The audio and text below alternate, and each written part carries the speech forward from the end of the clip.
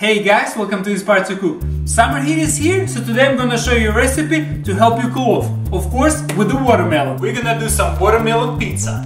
Let's do it. The main ingredient we're gonna need is the watermelon, of course, and any fruits that you have. I'm gonna use some strawberries, some kiwis, and of course blueberries, ripened blueberries. The first step is to cut a slice of watermelon. Uh, you just have to leave some room at the end you can use any part of watermelon. I just like to cut them into one inch or so, just like that.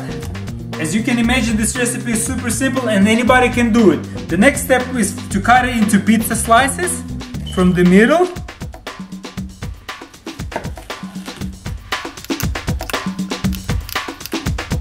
The next step is to cut up the fruit and again you can use any fruit and you can cut them into different shapes. But uh, you can normally cut the strawberries into halves, but since mine are pretty big, I'm actually gonna cut them into four pieces, like that. Of course, we need to remove the greenery. Next up is the kiwi fruit. You can peel it different ways. Today I'm gonna peel it just a regular, as a regular potato, just like that. My watermelon pizza size is pretty small, so I just need one nice slice of kiwi, and I'm gonna show you why. So I'm gonna put it right on top of the pizza, and I'm gonna cut it just the way the pizza is sliced.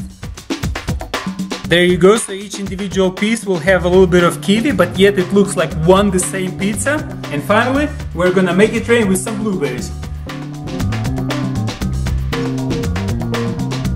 Just like that. Doesn't our pizza look like a beautiful, beautiful flower? Just inviting you to eat, look at that. Well, and it is my favorite part of the show, tasting time.